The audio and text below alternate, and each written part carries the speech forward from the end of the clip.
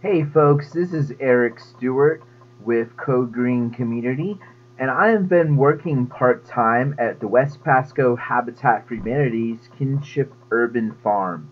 Over the past few months, we've been having some water problems. Our fields have been, been flooding as thousands and thousands of gallons of water have been pouring into our farm from asphalt uh, concrete. So over the past few months, I've been building a swale system and a pond that a retention pond that's going to start storing thousands of gallons of fresh water to be used in our garden space.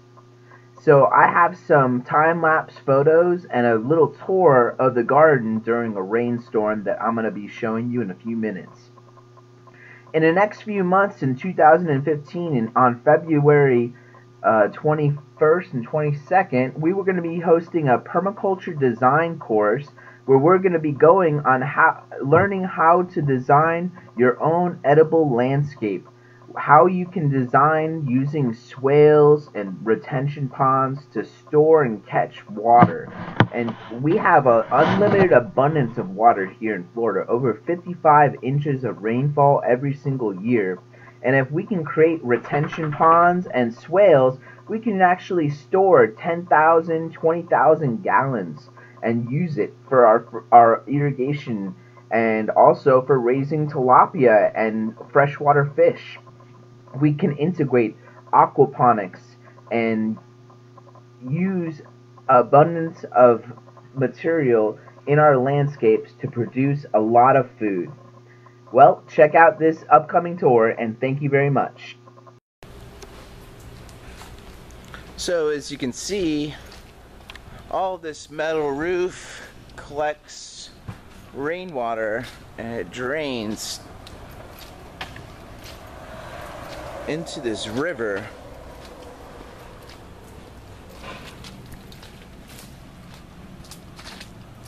That flows into the garden. And some of it comes into this walkway where there's a swale.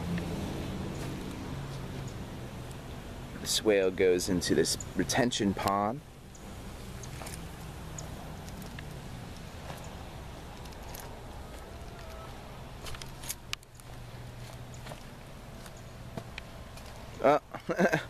Looks like we uh, have some problems with our pond here, so we'll have to fix that today.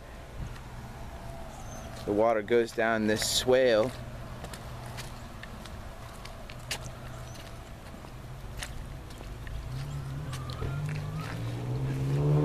into this little overflow and into the big pond.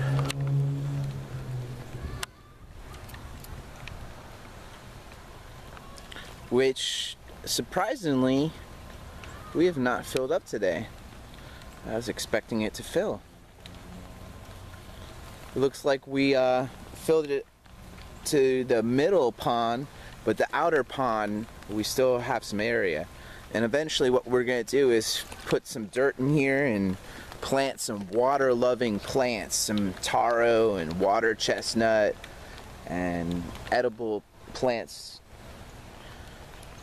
And this is our water swale system here at the Kinship Urban Farm. Thank you. If you would like to learn more about permaculture design, I'm hosting a permaculture design course at a local farm that I've been managing over the past year called Kinship Urban Farm. You can click the link below to learn more about our upcoming permaculture design course. Check out our website at codegreencommunity.com. Subscribe to our YouTube channel. Like our Facebook. Help with a donation on PayPal or support my work on Patreon. Thank you very much and enjoy our future YouTubes.